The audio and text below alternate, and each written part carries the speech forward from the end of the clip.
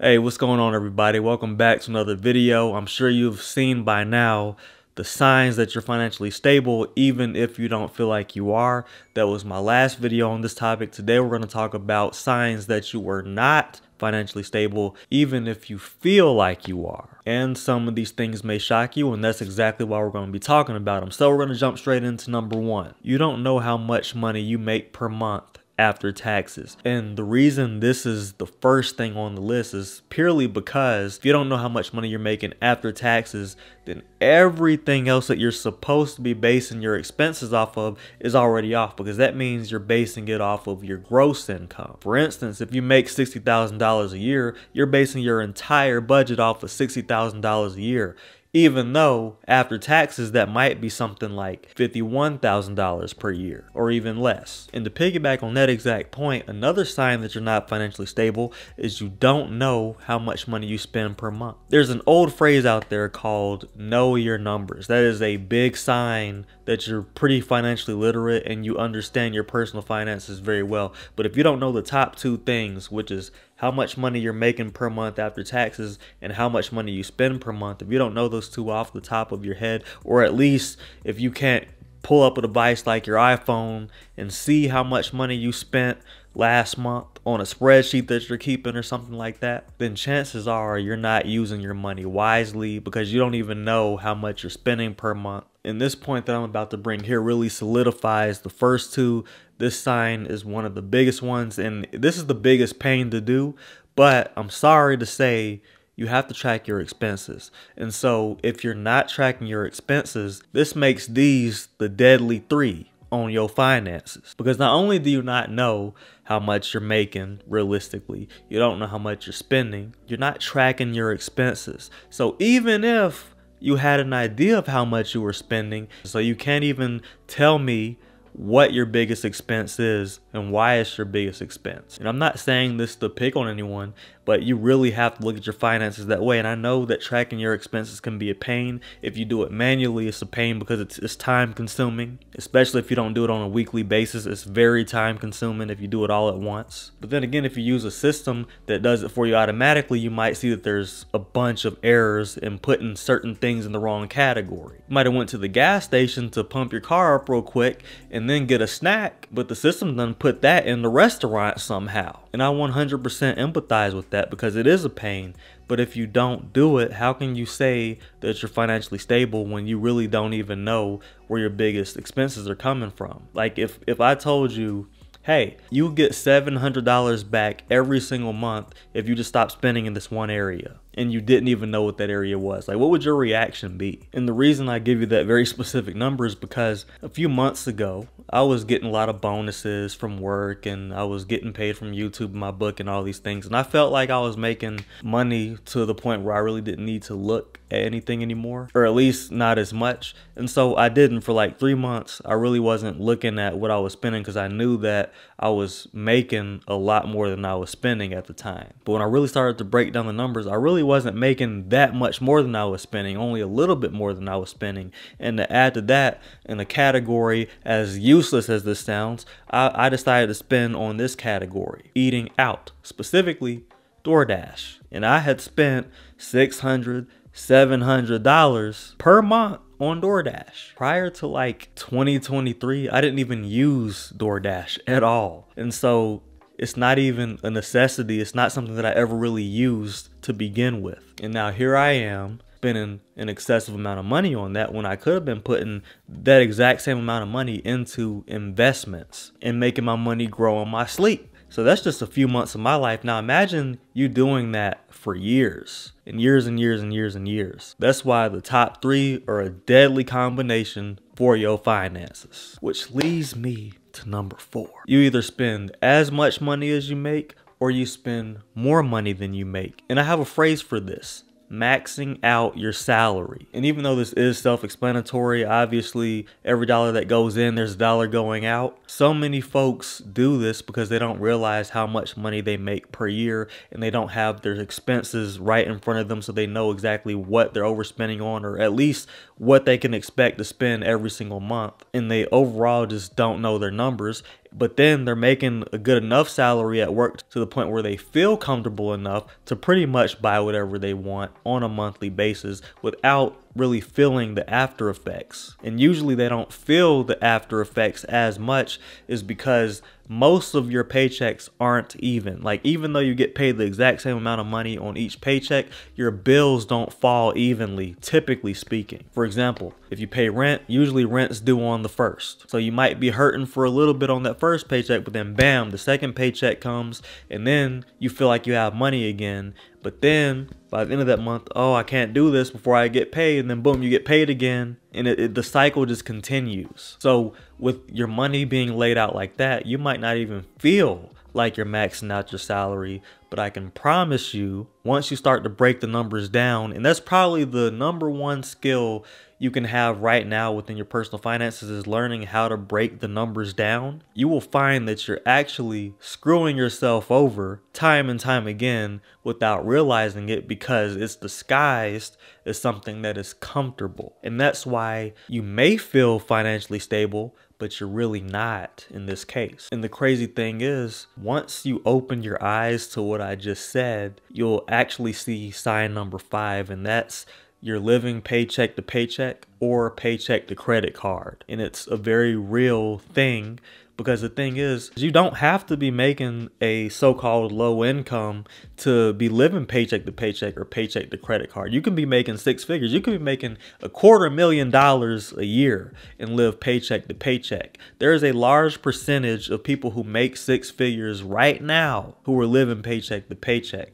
So don't let that fool you. Don't let the income part fool you you can be doing very well as far as earning potential and income. But when it comes to what you do with that, that's what makes you financially unstable. But the reason I say once you open your eyes to what I just said would open you to this is because then you break the numbers down and say, oh man, I made $75,000 a year, but I spent $73,000 of it. I only saved $2,000. And when you look at it that way, and that's like being generous, a lot of times there was no savings and it was just spending, spending, spending. And I know everybody that watches my channel, y'all work hard. We all work hard. We're all adults. So I'm not discrediting any of that. And, I, am definitely not telling you how to spend your money. But what I am saying is once you break the numbers down and say, holy crap, I'm living paycheck to paycheck or I'm living paycheck to credit card, you really come to that realization real quick once you break those numbers down. Which at this point, I have several episodes of my Wealth Journey series that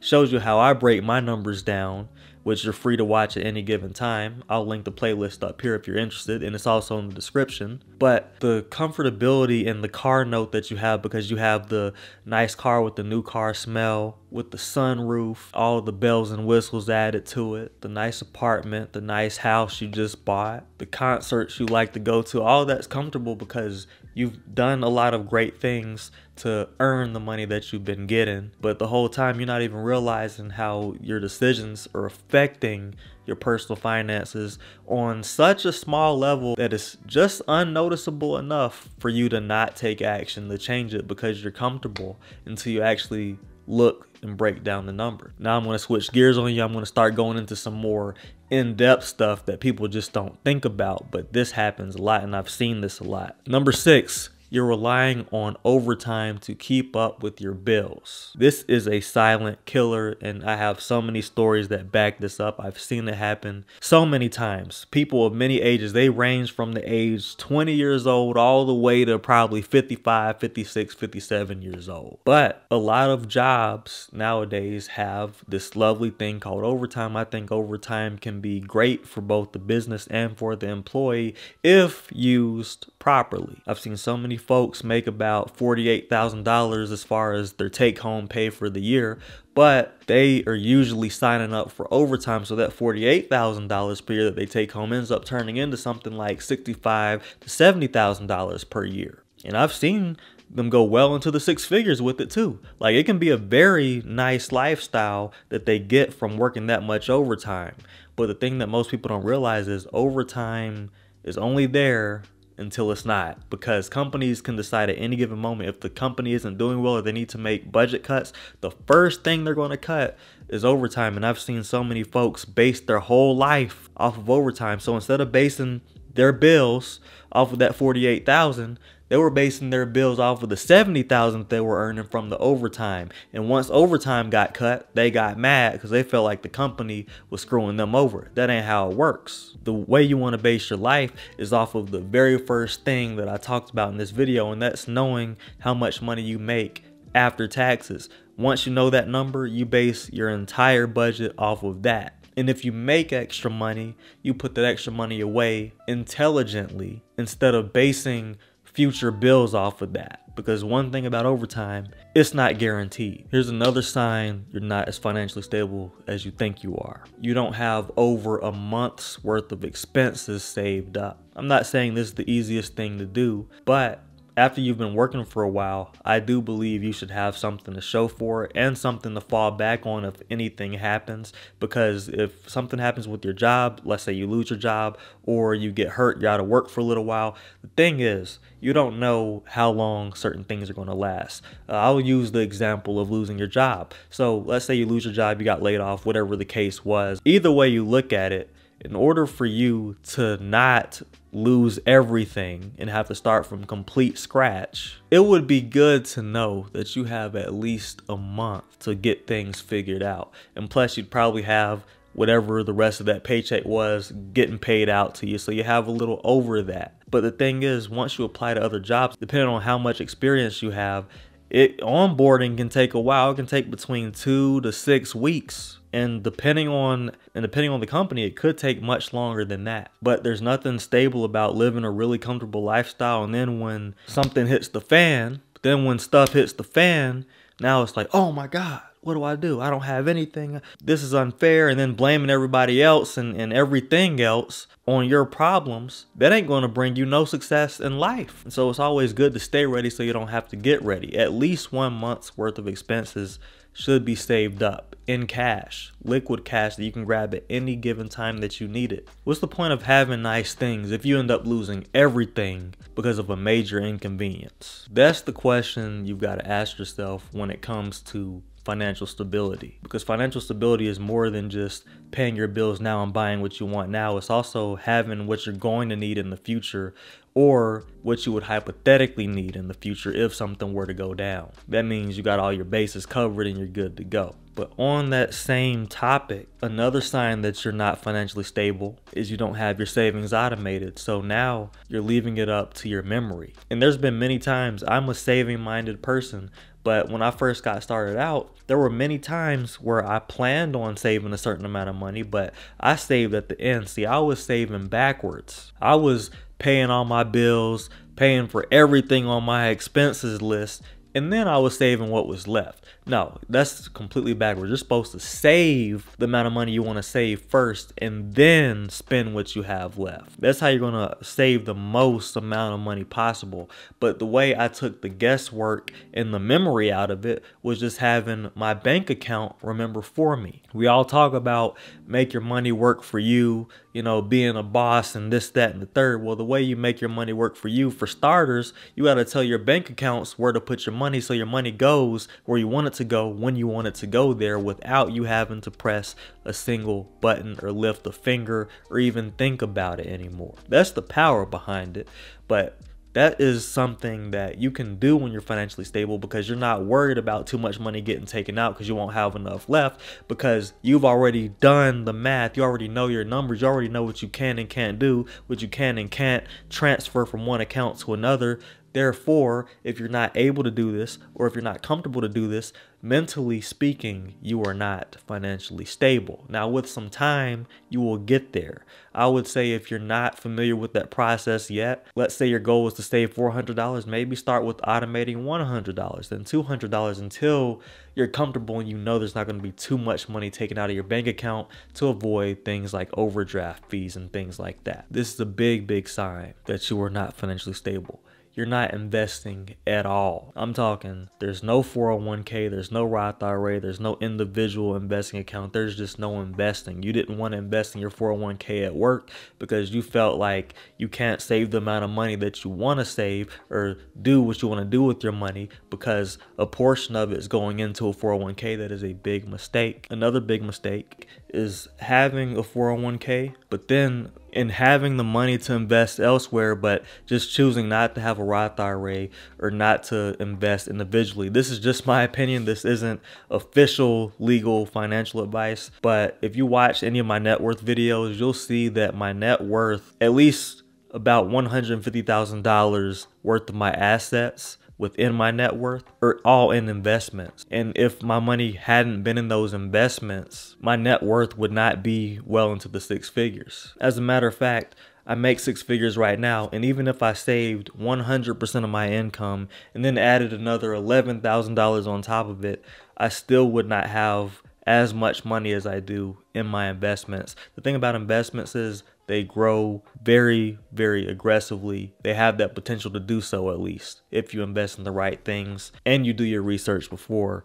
But I do have investing content that absolutely nobody watches, but it teaches you so much about investing to, to the point where you're not going to be, you know, guessing and not knowing what you're doing. It gives you a very good foundation in terms of investing. But if you look at everybody who is wealthy or rich, they all have some sort of investing, whether it's stocks, real estate, business. They have a strategy and they found what works for them. The thing about it is when you become financially stable, you now enter the realm of being able to invest on a consistent basis. And so, if you're not investing at all, for one, you're not doing a habit that is going to ensure your wealth long term. And two, you might not be looking at it from a big picture view in terms of what that money can really do for you in the future because I'm sure you've heard like everyone else has heard, hey, just invest in the S&P 500 if you really want to mitigate risk, you'll get a good 10% per year. You might hear 10% like, "Oh, that's nothing. I don't want to put my money in there. I'll make my own 10%." And if that's you, I encourage you to look into compound interest and see what that really does for your money because as you can see a lot of money grow while you're just eating, sleeping, walking, doing whatever you do, just going about your normal day. That stuff is growing in the background, but if you feel like, oh, I'm just not going to invest, or if you're not able to invest, all those are reasons why, in my book, you are not financially stable if you're not doing that. And if you're not investing at all, you definitely don't have your investments automated. That's another thing I would say. If you are investing, don't leave it up to chance. Just don't, just the same way, like I said, with savings, don't leave it up to just your memory. Actually set up automation so you don't have to think about it and the investments are happening on an automatic basis. Just remember with certain investments such as like a Roth IRA, it might send the money over to that account automatically, but more times than not, you'll actually have to log in and make the transaction happen yourself once the money has been transferred over.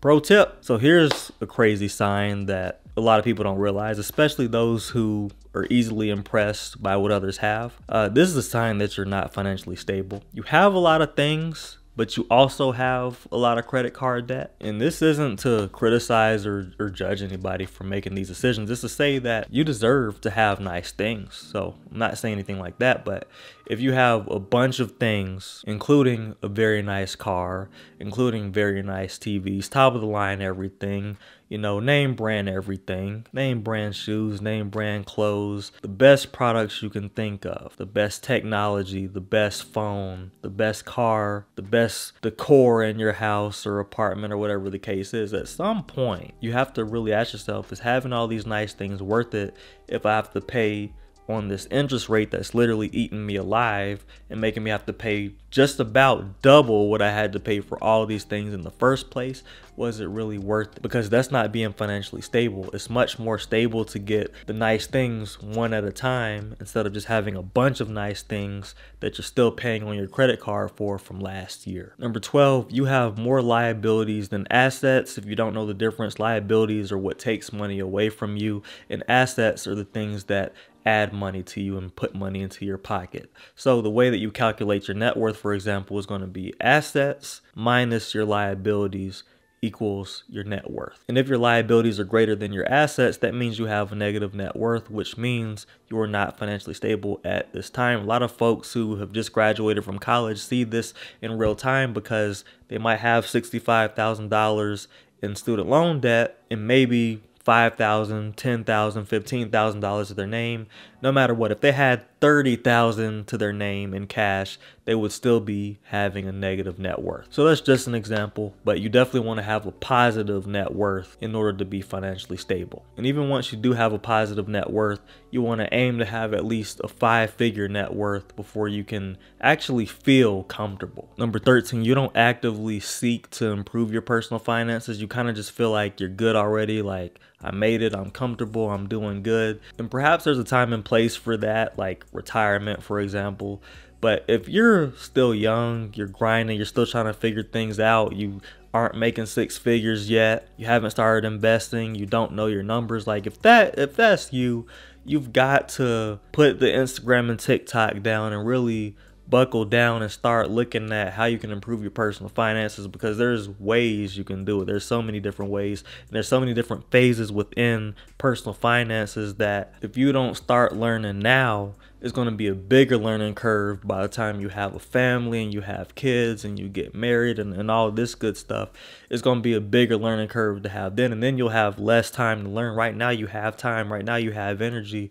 My message to you would be you got to put the distractions down for a little bit and just learn. Look at what you can read, look at what you can find on the internet. I do have a book, I do have over 300 videos on this YouTube channel. And of course, there's obviously more channels than just what I have up here. So, whatever resonates with you and whatever makes the most sense to you. But I say that because why would you not take advantage of learning how to improve something that is very, very important, a very important part of your life and your family's life. Why would you not do that? Number 14, you don't show up to work every day. You feel like, you know what, uh, don't want to go to work today. That is teaching yourself inconsistency. When you wake up and you're like, uh, I'm just not feeling it. I'm going to call out or you're not even sick. Like you don't even have anything wrong with you. You just straight up don't want to show up. Maybe you couldn't get along with a certain coworker or maybe something happened at work that you didn't like the other day or maybe you're just starting to hate your job or whatever the case is. And i can empathize with those things because i've been through that before. And i actually worked at a job that i hated that i worked seven days a week 12 hour days for. But the thing is i never missed work and i was always there every step of the way every single day and I collected every single one of my paychecks in full because of that because you don't get paid if you don't show up to work. If your salary is different, but obviously you can only miss so many days as a salary person before you're bowed out. Know what bowed out means. But you see what I'm saying? You you got to show yourself some some consistency. And so when you when you truck through and grind through the things that you hate and the things that you don't feel like doing, you're showing yourself the utmost respect and self love because you're making sure that you're coming through for yourself. If you can actually pull through for yourself, you can pull through for anybody who needs your help as well. But if you fail to pull through for yourself, you're going to let other people down too. There's nothing stable about sporadically coming to work just when you feel like it.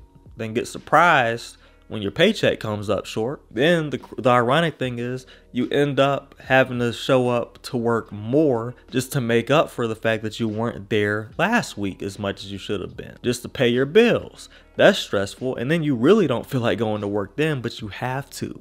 That's the exhausting part, knowing that you have to show up or bills won't get about paid. 15. You feel more validated by what you have physically than what you have in your bank account. This is so true in terms of what I've seen in my life, what I've seen in high school, college. It's mainly the younger people, but even like in the work world, feeling more validated by the car you're driving in and looking at the people look at you and all this stuff. Then, but then looking in your bank account and you don't even have five figures in it, but then you don't even have but then you don't even have a thousand dollars to your name, two thousand, three thousand dollars to your name.